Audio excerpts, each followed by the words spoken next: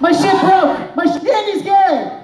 Do it again. Five, four, three, two, one. Andy's gay. Yeah. Yeah. Sometimes people have to do stuff like that Right, to cover stay up up their anyways. own, in you know, indiscretions and their issues.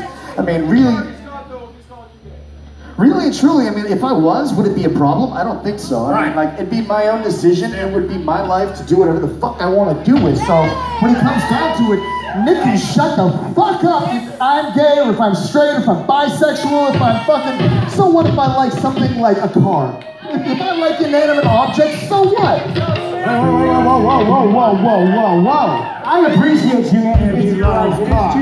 If I want to stick my dick in a 1967 Mustang, that's the way I want it. Andy Love's cock.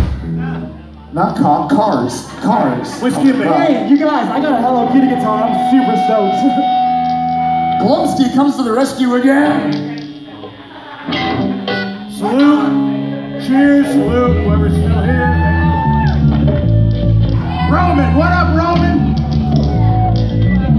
Is this? Since you let me borrow your guitar, Brian, I'm gonna let you borrow my microphone.